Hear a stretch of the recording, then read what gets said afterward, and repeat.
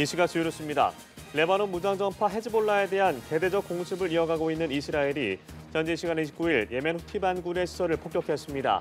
이스라엘은 이란을 주축으로 한 중동의 반이스라엘 무장조직 연대인 저항의 축을 차례로 폭격하고 있습니다. 이재명 더불어민주당 대표의 위증교사 혐의 1심 결심 공판이 오늘 진행됩니다.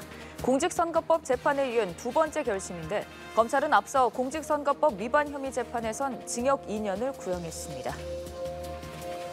이태원 참사에 부실하게 대응한 혐의 등으로 재판에 넘겨진 박희영 용산구청장과 이임재 전 서울 용산경찰서장 등에 대한 1심 선고 재판이 오늘 잇따라 열립니다.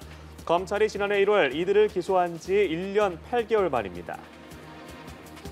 정부가 이르면 오늘 김건희 여사, 해병대원 특검법 등에 대한 대통령의 제2요구권 행사를 건의할 것으로 예상됩니다. 재표결을 앞두고 야당은 각종 의혹 부각에 집중하는 반면 여당은 이를 방어하기 위해 단일 대우를 강조하는 모양새입니다.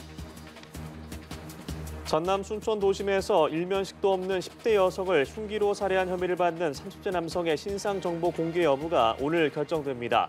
전남 경- 경찰청은 오늘 신상 정보 공개위원회를 개최할 계획입니다.